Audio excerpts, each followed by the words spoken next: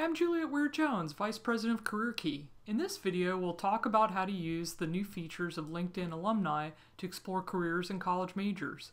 Whether you're considering a career change or you're just starting to look at career choices, LinkedIn can help broaden your knowledge about what's possible by looking at what people have done in their careers. All you need is a free LinkedIn account. Because LinkedIn Alumni is organized around schools and fields of study instead of occupations and careers, it's really best used to see what careers are possible with a particular major. And despite the word alumni, anyone can use the tool, college graduate or not. So let's get started. First, click on LinkedIn Alumni. You need to choose a college or university to begin your search. It's great that you don't have to be a school's graduate or current student to see information about its graduates. It could be a school you're interested in attending, a big university nearby for a more regional picture, or a school you attended. So although I didn't graduate from North Carolina State University, I can still see what their graduates studied or majored in, their skills, the types of work they do, and where they work. So first, look at the types of jobs listed for a field of study, exploring those that interest you. Click on what, what they studied in the fourth column over you'll see the graph adjust and narrow to graduates of that field. I chose social sciences. Notice that the study choices can be broad, like social sciences, which includes economics and sociology, or it can be very specific, like chemical engineering.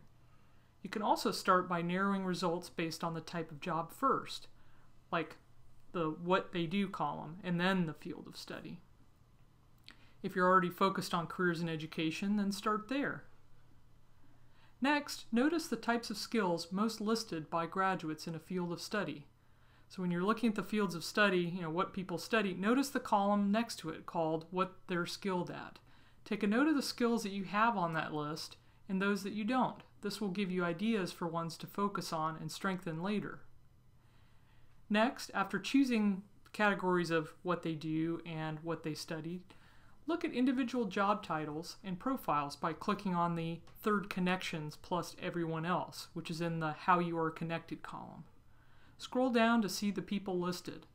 Are there any job titles that interest you? Are there any job titles that surprise you?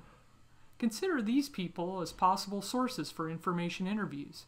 Even if the person lives far away or there's no realistic way to make a connection to them, you might search locally for someone similar, working in a similar kind of job. To avoid getting overwhelmed by information, you'll need to tailor your search to what interests you most.